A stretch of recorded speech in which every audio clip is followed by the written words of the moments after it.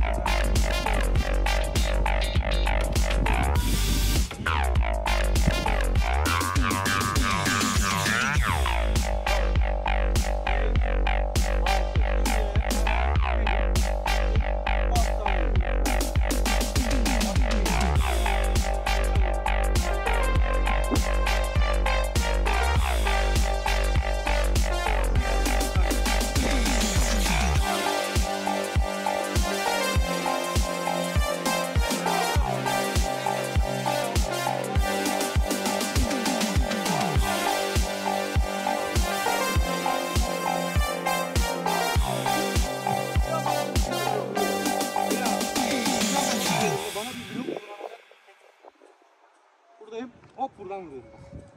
Burada giriyor. Hop. Gönderdim bak. Hop. Buradan giriyor. Ben sarılmalarda özellikle dikkat ediyorum. Sarılmalarda el attığınız klik, klik diyoruz. Klik attığının altında olur. Şimdi kafaya diz sıkışları çok önemli. Ha mesela şey anında işte vurduk, aldık, dikkat. Şayet kafaya böyle diz kafayla çıkarsam bizi yanlış. Okulda akademide şöyle anlatırız. Bu şekilde anlatılır. Çocuk görselde yapar. Kafa diyebiliriz buna. Kumse diyebiliriz. Görselde yapar ama nasıl yapacağını, nereye vuracağını, nasıl şekilde vuracağını bilemez. Bunun önüne geçebilmek için dikkat. Buradayız. Bak yan bölge. Bu bölgeden atıyoruz. Rakip kafayı buldum. Hop bu bölgeden vuruyorum. Tekrardan. Yani bu uçma esnasında veya bak bu bölgeden kalkıyorum. Yumuşak tutuyorum. Burun hattı. Şayet tutup bu hattan vurursam bu şekilde üst kapağını öldürürüm. Alt Hatay'dan aşağıya da şey yapmaz yani. Dikkat. Aldım. Bu hattan vurdum. Buradayım. Buradan vurdum. Bak dikkat. Vurdum. Hop. Aşağıya aldım. Buradan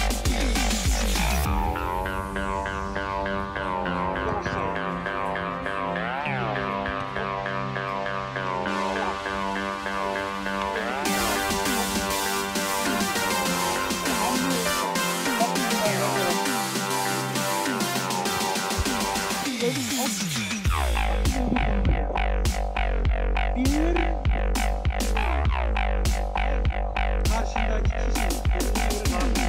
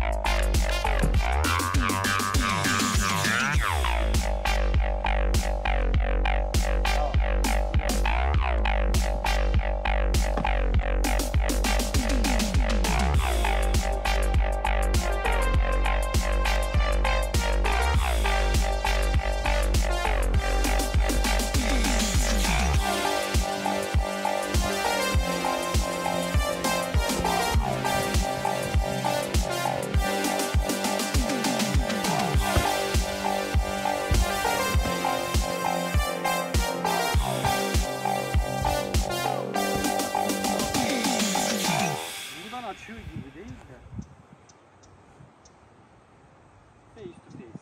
Göğüs bak. Buradayım. O alanda. Yani şöyle düşün. Buradan gelen bir burayı keskin nokta olarak. Keskin nokta ve aşağıya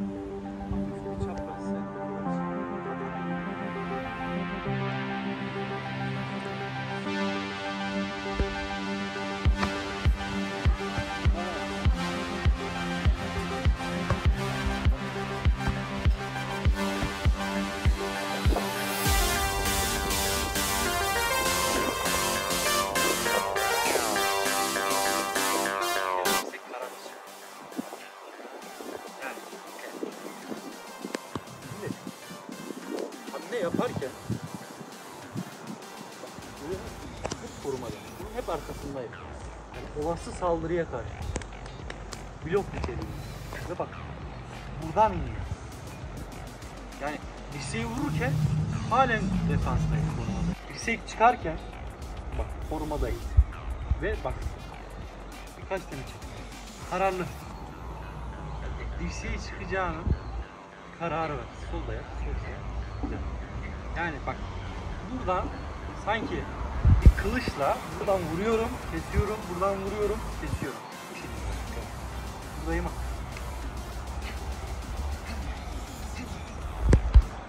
Adımla beraber düşün. Vurdu. İçeri basıyoruz. Halen. Ama bu alanda bunlar katan olarak düşün tamam mı? Kılıç. İçer döver gibi. Bölümünde ne varsa karpuzu parçalar gibi. Vuruyorsun, vuruyorsun ve devam ediyorsun. Bu alan üzerinde ne varsa kıra kıra geçiyorsun. Gerçekçilik yönünden dirseğin en etkili boyutu burada kısa ve net. Yani buradayım. Yakaladım. Vuruyorum. Nakal. Halen bunun arkasına sığınıyorum. Hep bir defans. Vuruyorum. Vuruyorum. Hani gel ben sana dirsek atacağım deyip alanı boş bırakmıyorum. Aynı zamanda bir koruma yapıyorum. Bu el aynı zamanda ne oluşturuyor biliyor musun? Yakalama. Gel abi. Şöyle göstereyim. Gel. Rakibi kaçırmıyorum. Aynı zamanda ne yapıyorum? Defans. Hazırım. Burada. Rakibe vuruşu. Tuttuk. Çekiyorum.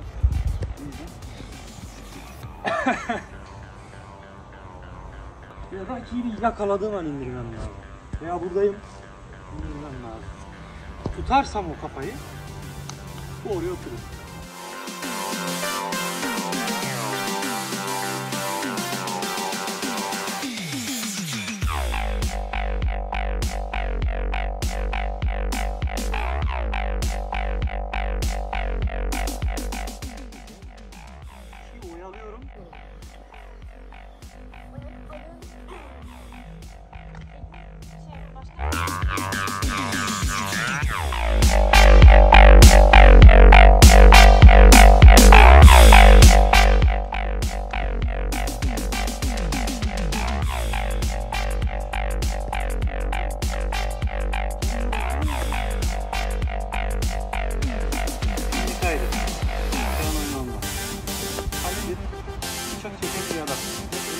Öldüreceğim lan falan tehditler savuruyorsa %99.9 seni öldürmeyecek.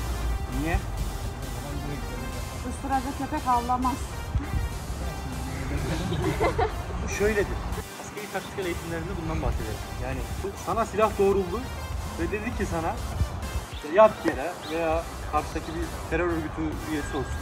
Sana silahlı bir girişimde bulunsun. Dur dedi, gidemezsin falan, işte seni öldüreceğim falan demeye başladıysa onu öldürmeyecek. Şu, atış alanında. Babasının oğlu değil. Adam terör örgütü üyesi. Tetiğe basmaktan başka bir şey yok. Basar ölür. Aynı mantık. Adam çektiyse adam bunu sana saplar. Yani geliyorsa önündeyse saplamak zorundadır. Sana bu kadar kim duyuyorsa bulur çıkartır çıkarmaz saplar zaten. Konuşma Konuşma vakti vermezsen. Ama burada bir tehdit unsuru varsa burada şunu bilmen gerekiyor. Bu adamın amacı sadece sana korku vermek. Şunu unutma. Kedi dahi duvarda sıkıştığında canavarı aslana dönüşür. Buna rağmen halen bu adama şey yaparsan, daha saldırı ve taktik yaparsan adam kendini korumak amacı. Buraya çok dikkat gerekiyor. Bu kuralları bildikten sonra kalmadı şansı.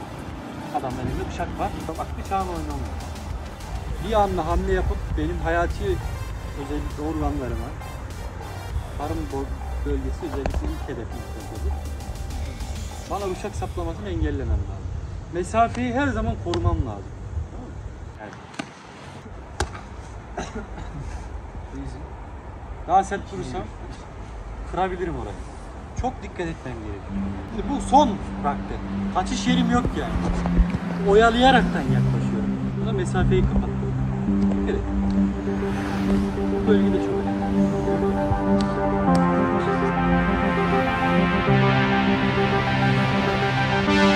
diye bir anda gelen baskı açmak ister.